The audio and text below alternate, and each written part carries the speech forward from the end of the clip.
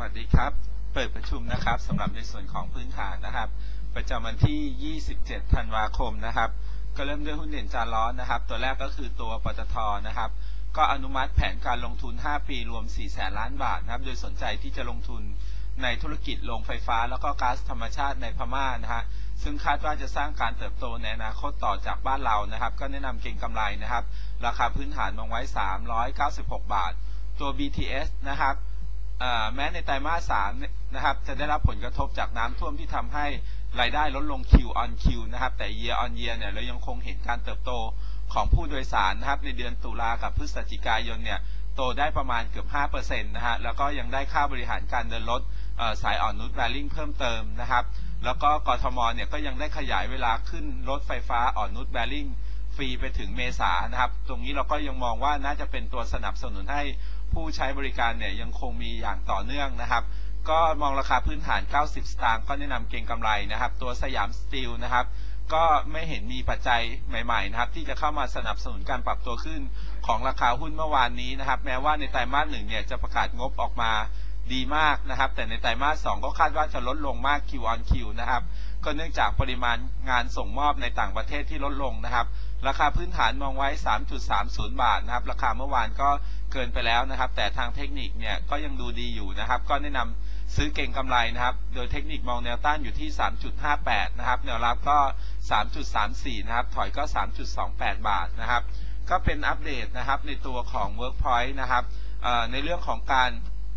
ย้ายรายการใหม่ 3 รายการนะครับ จากช่อง 7 ไปยังช่อง3นะครับ ก็คือชิงร้อยชิงล้าน แล้วก็อีก 2 รายการ ไปยังช่อง 5 ก็คือคนอวดผีกับหนูน้อยกู้อีจู้นะครับ ซึ่งรายการหนูน้อยกู้อีจู้เนี่ยต้องถือว่าเป็นรายการที่หยุดออกอากาศไปตั้งแต่เดือนสิงหานะครับ หลังจากที่ช่อง 7 เนี่ยได้นำรายการใหม่กำแพงซ่าเข้ามาแทนที่นะครับ เพราะฉะนั้นตัวนี้เนี่ยรายการก็หายไปตั้งแต่ประมาณไตรมาส3แล้วนะครับ แล้วก็ได้มีการปรับขึ้นค่าโฆษณาเนี่ยใน 6 รายการนะครับก็คือชิงร้อยชิงล้านเนี่ยได้ปรับขึ้นประมาณ 9%กว่านะครับ แล้วก็อีก 4 รายการเนี่ยปรับขึ้น 7%นะครับ แล้วก็รายการราชรถมาเคยทางช่อง 9 นี่ก็ปรับขึ้น 10%นะครับ แล้วก็ยังมีการปรับเปลี่ยนรายการใหม่อีก 2 รายการนะครับ จาก SME ตีแตกไปเป็นแฟนพันธ์แท้ แล้วก็เกมเผาขนเนี่ยมาเป็นบ้านนี้มีลุ้นนะครับ ซึ่งก็จะทำให้การขายโฆษณาได้ดีขึ้นนะครับ แม้ว่าการย้ายจากช่อง 7 นะครับ ไปยังช่องอื่นเนี่ย เวลาออกอากาศจะลดลงไปประมาณ 20 นาทีต่อสัปดาห์นะครับ แต่ว่าการได้ขึ้นค่าโฆษณาเนี่ยก็ถือว่าชดเชยได้นะครับ ซึ่งก็ไม่ได้ทำให้ตัวรายได้ปรับตัวลดลงไปนะครับ แล้วก็ยังมีโอกาสที่จะได้รายการใหม่ ๆ เพิ่มนะครับทางช่อง 3 กับช่อง 9 อีกนะครับสำหรับในเรื่องของธุรกิจด้านอื่นๆนะครับ เราจะเห็นเข้าลุกธุรกิจมากขึ้นนะครับ อย่างเช่นในเรื่องของธุรกิจทีวีดาวเทียม ในช่องของ Workpoint TV นะครับ อันนี้เนี่ยจะเริ่มมีรายได้มกราปี 55 นะครับ บริษัทก็คาดว่าน่าจะมีรายได้เข้ามาประมาณ 100 ล้านนะครับ แต่จะทำได้แค่เพียงคุ้มทุนนะฮะ เนื่องจากมันเป็นปีแรกนะครับ โดยเขาได้มีการซื้อลิขสิทธิ์รายการต่างๆ เข้ามาพร้อมแล้วนะครับ รวมไปถึงรายการที่ Workpoint จะผลิตเอง แล้วก็จากพันธมิตรด้วยนะครับสองก็คือธุรกิจอีเวนต์นะครับจะเน้นมากขึ้นกว่าในปี 54 นะครับ ซึ่งในปี 54 เนี่ยต้องถือว่าตัวกำไรที่เติบโตส่วนหนึ่งเนี่ย มาจากงานของอีเวนต์ราชการนะครับ ซึ่งในปีนี้นะครับไตรมาสหนึ่งเนี่ยจะมีการเซ็นงานของหน่วยงานรัฐเข้ามา 120 ล้านบาทนะครับ มีงาน Thailand Got Talent ปี 2 ที่มีงบเพิ่มมากขึ้นนะครับ แล้วก็งานสติโชว์ที่ยกเลิกไปเมื่อตอนไตรมาส4นะครับสามก็คือคอนเสิร์ตนะครับ แล้วก็ละครเวทีก็จะมีมากขึ้นเช่นเดียวกันนะครับ ภาพยนตร์จะมีเข้าฉาย 5 เรื่องนะครับ จากปี 54 ที่มีอยู่ 3 เรื่อง สิ่งพิมพ์เนี่ยมีการออกหัวนิตยสารใหม่อีก 2 ฉบับนะครับ ก็คือวิงกับแอสตานะครับ ซึ่งเป็นนิตยสาร แล้วก็การ์ตูนเกาหลีนะครับ แล้วก็ยังมีการหาลิขสิทธิ์หนังสืออื่นๆ เพิ่มขึ้นนะครับจากการลุกนะครับงานมากขึ้นแล้วก็แนวโน้มตัวสื่อทีวีเองที่ยังคงไปได้ดีนะครับ แล้วก็มีการปรับกำไรในปี 55 ขึ้นนะครับ จากเดิมมองไว้ 312 ล้านมาเป็น 352 ล้านนะครับ ราคาพื้นฐานเนี่ยปรับขึ้นมาเป็น 16 บาท 90 ก็ยังคงคำแนะนำซื้อนะครับ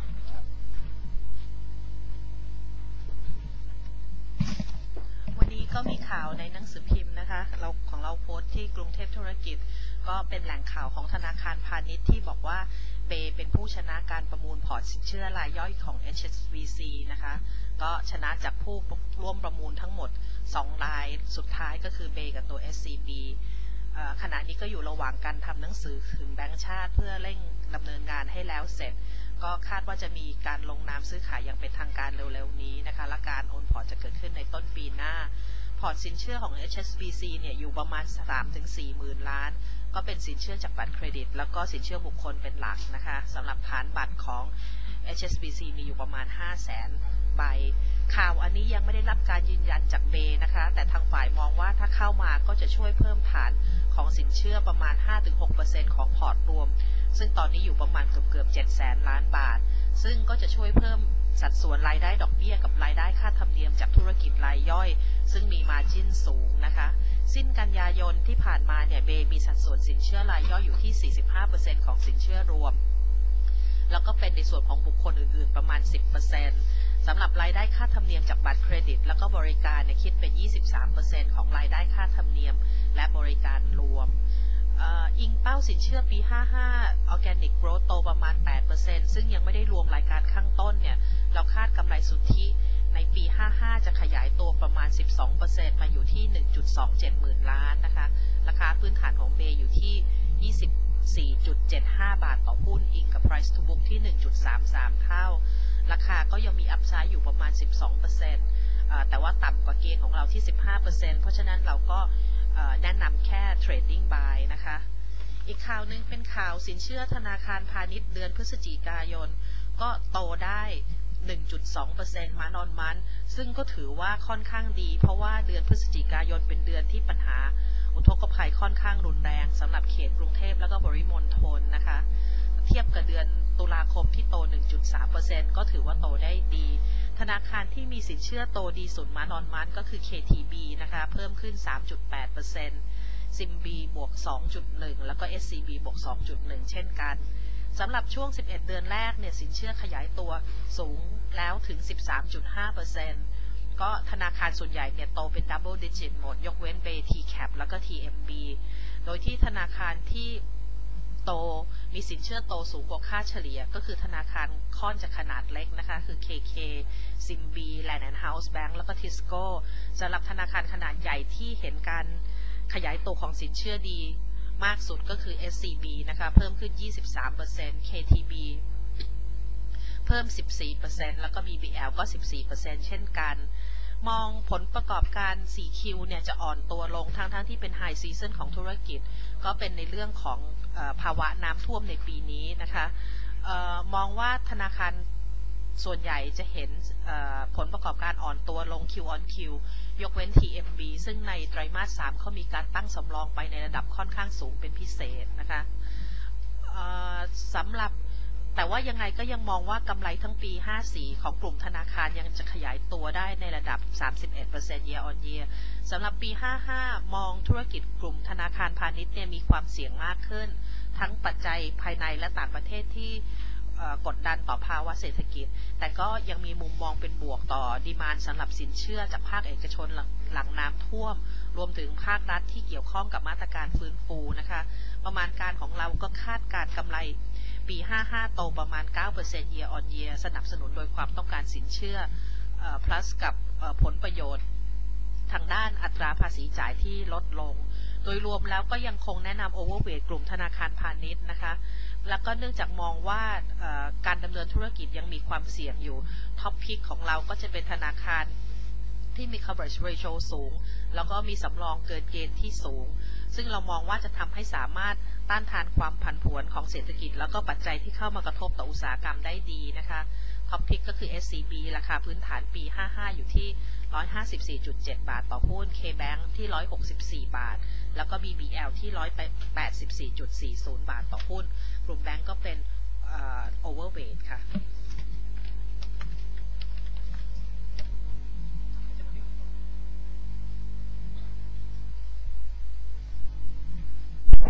ก็มีตัว SMT นะคะ ก็ถามว่าแนวโน้มเนี่ยเราน่าจะเห็นยังไม่ดีไปนะคะ ก็อีกสัก 2-3 ไตรมาสข้างหน้านะคะ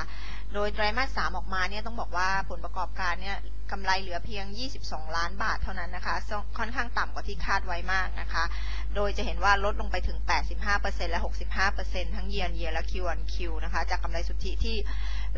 143 และ 64 ล้านบาทตามลำดับนะคะ ไตรมาส 3 เนี่ยยอดขายเนี่ยลดลงไป 15%เทียบเยียนเยียนะคะ อยู่ที่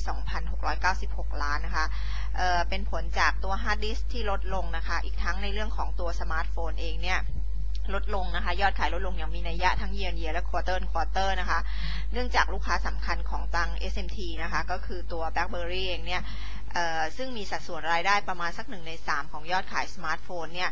ต้องสูญเสียส่วนแบ่งการตลาดไปนะคะ ก็ทำให้ตัวกระทบกับการขายตัวสมาร์ทโฟนของบริษัทค่อนข้างมากนะคะ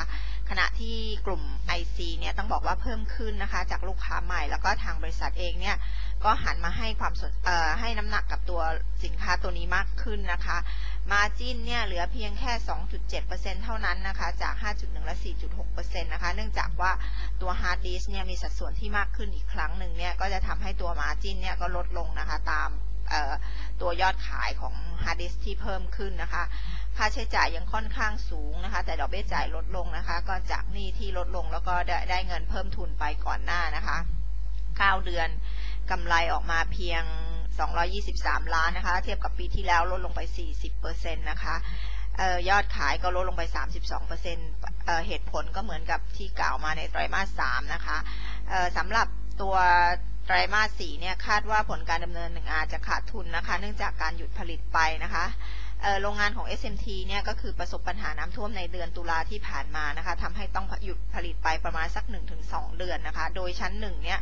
ซึ่งเป็นฐานการผลิตฮาร์ดดิสก์เนี่ยได้รับความเสียหายทั้งหมดนะคะ ก็กระทบต่อการผลิตฮาร์ดดิสก์ไปอีกราว 1-2 ไตรมาสนะคะ ส่วนกลุ่ม IC ซึ่งตั้งอยู่ชั้น 2 ไม่ได้รับความเสียหายมากนักนะคะ คาดว่าจะเริ่มกลับมาผลิตได้นะคะ หลังการปรับปรุงโรงงานที่แล้วเสร็จนะคะ คาดว่าน่าจะเป็นช่วงมกราคมเป็นต้นไปนะคะ แต่หากว่าระดับการผลิตเนี่ยที่คาดว่าจะกลับมาได้ดังเดิมเนี่ยก็น่าจะเป็นในไตรมาส3นะคะ เพราะว่าในช่วงไตรมาส1ไตรมาส2เนี่ยก็คงค่อยๆ ramp up ไปเรื่อยๆนะคะ ส่วนการบันทึกผลเสียหายที่เกิดขึ้นเนี่ยคาดว่าจะต้องบันทึกในไตรมาส4นะคะ แล้วก็จะรอโอนกลับในภายหลังหลังจากที่ทางประกันได้ เคลียร์เเคลเงินคืนให้นะคะ ถามว่าแนวโน้มปี 55 เนี่ยก็ยังไม่ดีนะคะ จากผลลบที่ค่อนข้างมากที่เกิดขึ้นโดยเฉพาะในครึ่งแรกของปี 55 นะคะ โดยในช่วงครึ่งปีแรกเนี่ยเราคาดว่าผลประกอบการของ SMT น่าจะยังขาดทุนอยู่นะคะ แล้วก็กลับไปฟื้นตัวได้ในครึ่งปีหลังนะคะ อีกทั้งในเรื่องของน้ำท่วมที่เกิดขึ้นเนี่ยสิ่งหนึ่งที่มองว่าบริษัทอาจจะต้องเสียไปก็คือลูกค้าบางส่วนนะคะ ที่จะต้องไปให้ลูกผู้ผลิตรายอื่นผลิตนะคะ โดยเฉพาะในกลุ่มพวกสินค้าพวกมาตรฐานนะคะ ก็คือใครๆก็ทำได้พวกนี้ก็คืออาจจะเป็นว่าทางลูกค้าจะต้องย้ายไปที่อื่นทำแทนนะคะ ซึ่งความเสี่ยงตรงนี้เนี่ยก็คือมองว่าถ้าหากว่าหายไปเนี่ยการที่จะกลับมาได้ใหม่เนี่ยคงจะต้องใช้เวลานานนะคะ รวมถึงว่าอออาจจะต้องมีการลดราคานะคะเพื่อให้ได้มาซึ่งคำสั่งซื้อเดิมนะคะทางมองว่าเป็นปัจจัยเสี่ยงต่อการดำเนินงานอย่างหนึ่งนะคะ ประมาณการยอดขายในปีหน้าเนี่ยคือลดลงไป 15%อยู่ที่6,008นะคะกำไรสุทธิก่อนรายการพิเศษเนี่ยก็คือ 107 ล้านลดลงไป 38%เทียบเยียร์เยียนะคะเออต้องบอกว่าหลังน้ำลดลงนะคะ คือหลังน้ำท่วมสิ้นสุดลงเนี่ย SMT เนี่ยต้องบอกเป็นหลักเป็นหุ้นตัวหนึ่งที่ราคาหุ้นปรับขึ้นมาค่อนข้างออดีที่สุด คือแข็งแกร่งที่สุดในกลุ่มนะคะ ทางฝ่ายมองว่าราคาหุ้นเนี่ยปรับขึ้นเกินกว่าปัจจัยพื้นฐานที่ยังอ่อนแออยู่ในช่วง 2-3 ไตรมาสข้างหน้านะคะ ปรับลดคำแนะนำจากถือเป็นทยอยขายนะคะ ราคาเหมาะสมเนี่ย8บาท 80 นะคะ อิงบน P เอ้ยอิงบน price per book ที่ 1.3 เท่านะคะ ปิดประชุมในส่วนพื้นฐานค่ะ